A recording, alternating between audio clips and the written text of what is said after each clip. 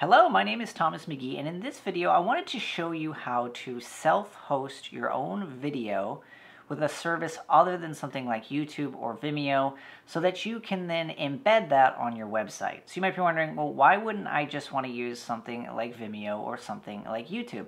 Sometimes it happens that you want to be able, you have got a blog or you've got a website or something like that, and you want to be able to post a video in an article or in a blog post or even in an, a podcast episode or something like that. You just want to be able to embed in there a video.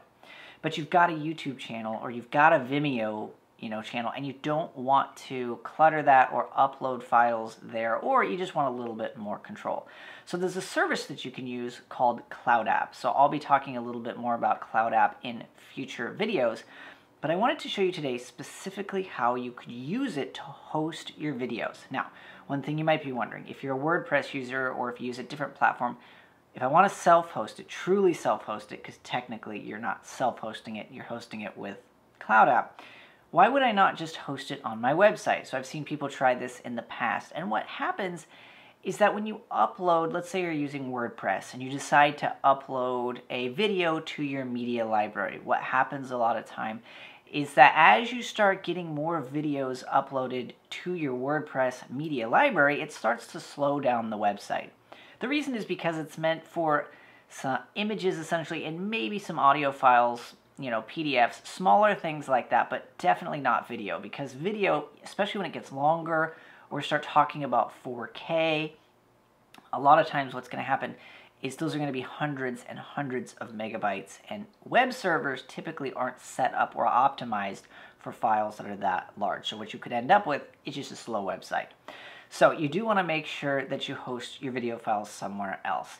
Again, YouTube and Vimeo work for a lot of cases, but sometimes, like I said, you may just want a little bit more control. So here's a way that you can do it for free. Now, there are some options available on Cloud App where you can pay and you can upload a little bit more. You could have bigger video files.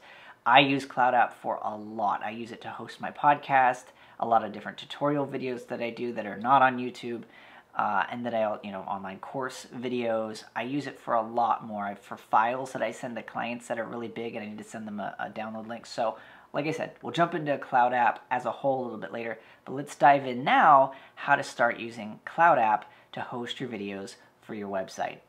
So let's go ahead and take a look. What I have right now is a just a really basic WordPress install that I'm using just for the sake of this demo.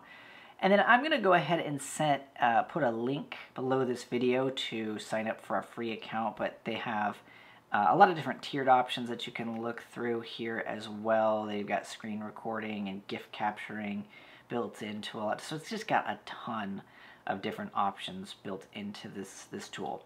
But let's go ahead and dive into it. So the first thing we want to do, first thing we need in order to be able to do this is we're to actually need a video. So I've just got a little video montage that I put together a little while back. And we'll see for most, in most cases, or depending on what video software you're using, what you'll find is that it's to export in an MOV file. But what we need to do before we decide to host this is we need to make sure that it's in a file format that's to be compatible with most web browsers.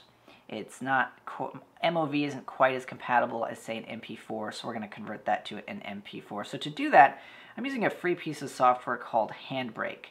And I think this one's Mac only. I do know that there are other software services out there that you can use for Windows that will do the same thing for free. You just want to find some sort of tool. And again, I will link this one below uh, this video along with a link to Cloud App as well.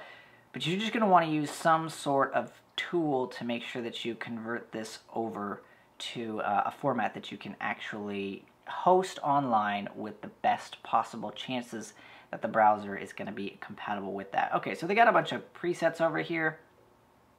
This video is actually in 4K, but just so this goes a little bit faster, uh, so first of all, you want to go under web because that's it's going to put a codec in there. It's going to compress it. It's going to make sure that it works great for web. Just going to do this at 1080p and then I'm going to click start. So you'll be able to see it gives you the progress down there. Okay, so once that has finished uh, converting from the MOV, we'll be able to see on my desktop I have a MP4 version. So the next thing I'm going to do is using the Cloud App app, the actual app that they give you, I'm actually going to just drag this up there and we're going to see that that's going to instantly start uploading. And we'll see as it's uploading, it's going to give us a little uploading page. And so we just need to wait for that to finish uploading. Okay, so while that's uploading, let's go ahead and dive in here now and make a quick sample WordPress post. So let's just call this my great video. Here is my article.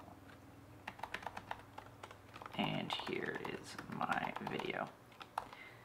Okay, so what we're doing here is I'm just creating a new blank WordPress post. So, you know, typically if you're, you know, you're creating your posts, you have your content here. Um, but what we're going to do here is rather than using the visual tab, we're going to jump on over to text. And text is just going to allow us to paste in here HTML without it getting messed up. So let's go ahead and see if that has finished. It looks like it has. So it's uploaded.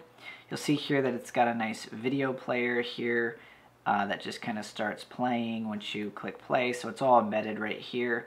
So all we have to do now is at the top right hand corner of the video that you uploaded, you just want to go and click this, this button at the top right hand corner, those three dots, and you want to go down to embed. And under embed, we want to click this, this uh, little link icon here, and you're going to see some options appear for us. So first thing we want to do is make sure that it's set to web page.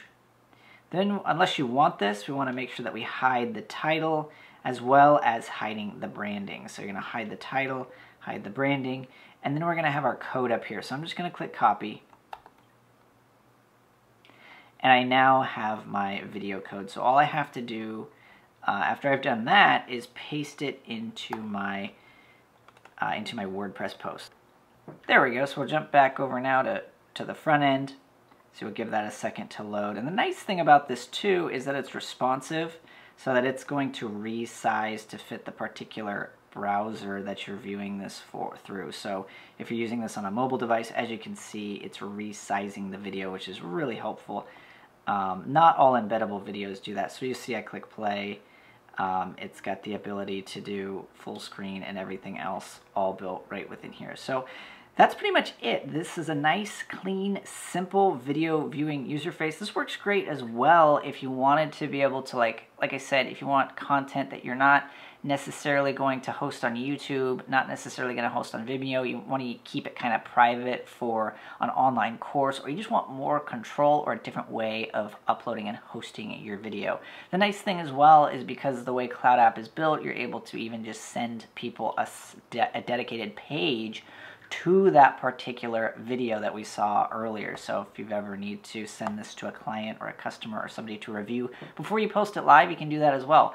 But I found this endlessly useful. It just gives you a lot more control so that you can embed videos wherever you want without having to worry about something like YouTube or Vimeo and you know cluttering up the libraries that you have there. You can keep these separate and then really easily embed them within the file or within the you know articles or the blog posts that you're creating. So just wanted to give you a really quick tip today. Again, I'm going to be going into how you can use Cloud App for a whole bunch of other things, including up to and including hosting your podcast, uh, your images. You create a huge image library with it. It's just becoming a really useful tool for me. So hopefully you found this useful. If you did, as always, make sure that you hit that like button, subscribe if you're not already, and I look forward to seeing you in the next video.